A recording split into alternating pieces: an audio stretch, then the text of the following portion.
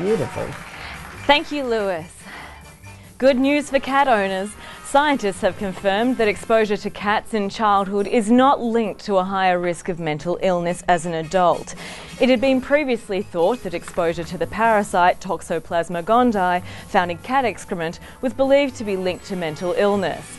Recently publishing their findings in Psychological Medicine, a team from University College London studied families over a 20 year period and found no correlation between the two.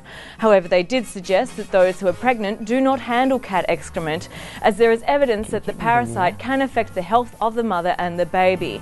Everyone else is free to handle the cat poo as much as they desire.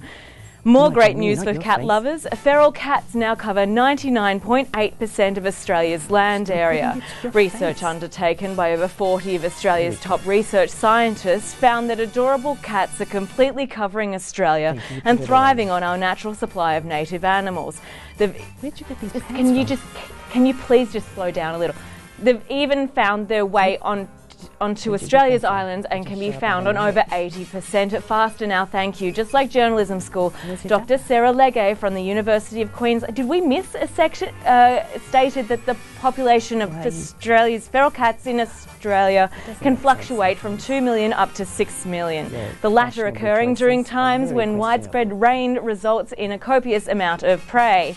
Luckily for Australia's east coast, they've had a lot of rain lately, which means they'll be lucky enough to see a boom of cats in their local nature parks. And finally, research from Kyoto University suggests cats understand the laws of physics.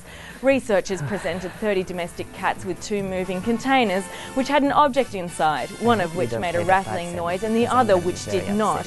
When the containers were overturned, the object would fall out. In their findings, the researchers Don't give me that discovered that cats were more able to predict the dropping of the object with the rattling container, signifying that cats are able to understand the effect of cause and effect, the principle of cause and effect.